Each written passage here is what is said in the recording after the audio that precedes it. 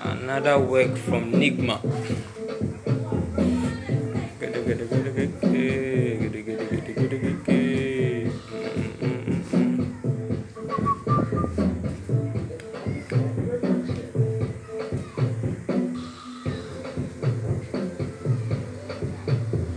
Wow, check here now, Fred.